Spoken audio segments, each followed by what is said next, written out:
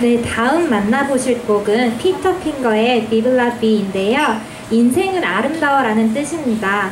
네, 재밌는 게 앞서 만났던 마이클 헤지스가 정파 중에 세 곳으로 불린다면 피터 핑거는 정파 중에 세 곳이라고도 불릴 수 있는데요. 네, 아, 이렇게 어떻게 보면 정반대 성향인 두 연주가들의 곡을 나란히 들어볼 수 있다니 참 재밌습니다. 왜 웃으시는 거죠? 준비한 거 티났나요? 네. 아, 네. 멘트가 다 됐네요. 어디 한번 얼마나 인생을 아름답게 표현한 곡인지 들어보도록 하겠습니다.